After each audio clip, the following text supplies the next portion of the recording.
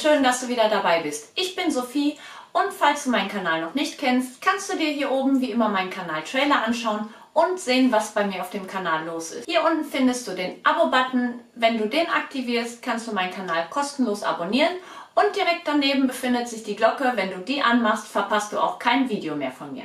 Heute beantworte ich euch ein paar Fragen zu den Schnittflächen und Schnittgrößen der Nicer Dicer der verschiedenen Geräte. Und zwar von folgenden Geräten Nicer Dicer Chef, Chef S, Fusion, Magic Cube und Plus. So, wie versprochen geht es heute um die Nicer Dicer, um die verschiedenen Größen. Ich habe jetzt alle Geräte einmal geöffnet mit den normalen Einsätzen, die in dem kleinen Set auch enthalten sind und habe auch überall den Einsatz mit 12x12 mm reingemacht, damit wir dann auch einen direkten Vergleich haben, wie das hier aufgeteilt ist. Ihr wundert euch vielleicht, warum der Chef S nicht neben dem Chef steht. Für mich ist neben der Messergröße auch das Volumen der einzelnen Auffangschalen entscheidend. Deswegen stehen die halt in dieser Reihenfolge. Der Auffangbehälter des Plus hat 1500 Milliliter. Der Magic Cube hat 1400 bis 1500 Milliliter, aber dann ist er auch gestrichen voll. Beim Chef S sind es tatsächlich 2000 Milliliter, in der Glasschüssel allerdings nur 1700 Milliliter. Das muss man auch wissen, dass die kleiner ist. Der Fusion, der hat fantastische 2500 Milliliter, mit dem war ich immer sehr zufrieden. Jetzt kommt natürlich der Chef mein Liebling, sage ich jetzt mal, mit 3500 Milliliter Fassungsvermögen und die Glasschüssel fasst auch noch 3000 Milliliter. Also das ist richtig schön viel. Jetzt kommen wir aber zu den Messern. Ihr seht schon, der Plus, der Magic Cube und der Fusion haben alle drei das geteilte Messer mit 7 x 7 cm Schnittauflage und beim Chef S und beim Chef haben wir eine Auflagefläche von 9 mal 12 cm. Und es gibt noch einen Unterschied bei den Größen der Messern für den Magic Cube und für den Fusion. Da bekommt ihr auch nochmal die Möglichkeit, dieses 7 x 7 cm Messer durch das 7 x 15 cm Messer. Dann habt ihr hier auch beim Fusion so wie beim Magic Cube eine große Auflagefläche. Bei dem Plus ist es so, dass ihr wirklich immer nur auf der kleinen Schnittfläche schneiden könnt, die 7 x 7 cm im hinteren Bereich und hier vorne wird geviertelt und geachtelt. Also da habt ihr nicht die komplette Schnittfläche. Um euch das zu verdeutlichen, wollte ich euch das einmal zeigen anhand eines Hirtenkäses. Die Größe dieses Käses, darum ging es mir, kennt ja jeder. Die haben ja hier so eine gewisse Standardgröße und dann kann ich sagen, zack, ich lege es mir hier drauf auf den Chef S und er passt hier ganz bequem drauf. Ich probiere es dann auch bei dem Fusion. Auch hier würde das passen, wenn man das große Messer dazu hat. Und ihr könnt euch ja vorstellen, hier bei dem Magic Cube und bei dem Plus funktioniert das nicht. Da müsstet ihr ihn noch einmal durchschneiden. Das ist nur zur Erklärung, will ich viel vorschneiden müssen oder nicht. Wenn nicht, dann wähle ich eins von den Geräten. Ist mir das egal, ob ich dann vorher noch einen Schnitt mehr mache und habe nicht so viel Stauraum, dann wähle ich eins von diesen Geräten. 9-teilig bis 21-teilig, mittlerweile auch schon inklusive Twist als Set erhältlich. Und der Magic Cube, den gibt es in 12 und 15-teilig. Da bekommt ihr zwar auch die großen Messer, aber nicht als erstes Starter-Set sofort enthalten. Der Chef S, der ist 8 bis 23 teilig. Den Fusion, den gibt es 10 bis 34 teilig, genau wie den Chef, den gibt es natürlich auch bis 34 teilig und zwar 15 bis 34 teilig. Mit sämtlichen Schüsseln, Glasschüssel und so weiter. Glasschüssel, genau, die gibt es nur für den Chef S und für den Chef. Ich zeige euch hier nochmal die Glasschüssel vom Chef S. Die hat ja ein Fassungsvermögen von 1700 Milliliter und die ist für eine Lasagne für zwei Personen wunderbar. Wer mehr machen möchte, nimmt dann die Glasschüssel vom Chef. Ihr könnt halt direkt reinschneiden, reinschichten, ab in den Ofen und fertig. Es gibt eine Besonderheit, die gibt es nur bei dem Fusion. Und zwar macht ihr hier die Pinöckel rein. Ich ziehe es jetzt ein Stück vor. Ich hatte extra alle an die Wand gestellt, damit ihr auch die Tiefe der Geräte seht.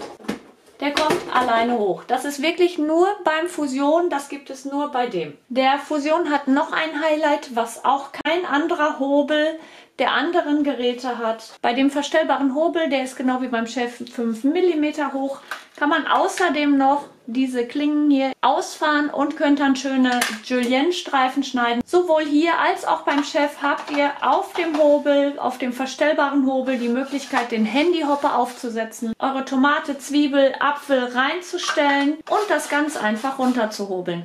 Das ist wirklich eine meiner liebsten Funktionen bei den beiden Geräten, da ich das auch sehr oft benutze. Jetzt fragt ihr euch natürlich, welcher ist denn jetzt für mich der richtige? Welchen soll ich denn jetzt nehmen? Dafür muss man sich die folgende Frage stellen. Was habe ich damit vor? Wenn ihr wenig Stauraum habt und nur für ein bis zwei Personen kocht und schneiden wollt, dann reicht auf jeden Fall der Plus. Der ist klein, kompakt, da passen in das neunteilige Set alle Teile unten rein. Das hatte ich euch auch mal gezeigt. Wer dann doch schon ein bisschen raffinierter arbeiten möchte und mal was Besonderes möchte, der kann sich hier an dem Magic Cube erfreuen. Bei dem Cube ist es ja so, jeder Dreh ein neuer Schnitt. Hier hattet ihr die beiden Messer, dann habt ihr die Julienne und könnt direkt loshobeln und reiben und fertig. Dafür braucht ihr dann immer nur den Behälter rausziehen und zur jeweiligen Schnittfläche drehen. Und zur Reinigung nehmt ihr am besten einmal alle Aufsätze ab und dann seht ihr, kommt ihr auch hier nach dem Ausspülen mit dem Schwamm in alle Ecken und könnt ihn reinigen. Und einfach im Schrank verstauen, egal ob liegend oder stehend. Wer tatsächlich die größere Auflagefläche haben möchte und für zwei bis drei Personen was machen möchte, da würde ich auf jeden Fall den Chef S empfehlen. Der ist ja mittlerweile auch schon im Set bis zu 23-teilig erhältlich und auch hier bekommt ihr die Glasschüssel. Das ist ja hier die Besonderheit. Auch mit wenig Stauraum hat man hier eine große Schnittfläche. Der Fusion ist auch nach vielen Jahren, ich habe den auch damals direkt schon am Anfang gehabt, ich glaube 2013 kam er raus, da habe ich ihn mir auch schon gekauft und war natürlich begeistert, weil ich dann hier endlich viele Aufsätze hatte, die ich benutzen konnte und auch diesen wunderschönen verstellbaren Hobel, wo man zusätzlich noch die Klingen ausfahren kann. Das hat nur der Fusion und deswegen auch eins meiner Lieblingsgeräte. Also der Fusion vor allen Dingen mit den 2500 Milliliter an Schüssel, einfach genial. Den mag ich immer noch sehr. Und jetzt kommt hier mein heiß geliebter Chef. Der ist einfach von der Größe für meine Bedürfnisse am besten geeignet. Ich kann immer alles direkt reinschneiden. Hier ist die Besonderheit, hier könnt ihr bei der Plastikschüssel auch unter den Schneidaufsatz den kleinen Auffangbehälter reinsetzen und erstmal eure Zwiebel schneiden und macht dann nicht den großen Chef dreckig. Und natürlich auch hier der verstellbare Hobel, nicht mit den ausfahrbaren Klingen, aber auch mit Handyhopper. Das ist nämlich hier auch genauso. Hier habt ihr auch die Möglichkeit bis 34-teilig aufzustocken oder das auch gleich in dem Set zu kaufen. Das empfehle ich immer. Kauft lieber gleich das größere Set. Wenn ihr nachkaufen müsst, ist es immer teurer. Und jetzt noch ein Highlight, was ich wirklich ganz selten bei Firmen gesehen habe, dass es möglich ist, die Messer von mehreren Geräten untereinander zu tauschen. Und ihr könnt jetzt tatsächlich die Messer vom Magic Cube und die Messer vom Fusion gegenseitig benutzen. Müsst hier natürlich den Adapter wieder tauschen. Ganz wichtig, immer wenn es geteilt ist, muss hier oben der kleine Adapter rein. Das heißt also, wenn ihr von dem Fusion noch einen Aufsatz habt oder von dem Magic Cube und wollt auf den Fusion wechseln, so könnt ihr eure Messer von dem Gerät auch für dieses benutzen und das finde ich richtig gut. Und jetzt fragt ihr euch, geht das auch beim Chef S und beim Chef? Na, was denkt ihr? Ihr könnt also tatsächlich die Messer vom Chef S auch bei dem Chef nehmen, was mit Sicherheit nicht empfohlen wird, aber ihr könnt das machen und ihr könnt ja auch die Deckel tauschen. Könnt ihr dann auch den Tomaten- und Gemüseschneider mit 6 mm Abstand nehmen bekommt das bessere, feinere Ergebnis hin und könnt den dann auch hier benutzen. Ich hoffe, ich konnte euch mit dem Video weiterhelfen und habe euch nicht mehr verwirrt als geholfen.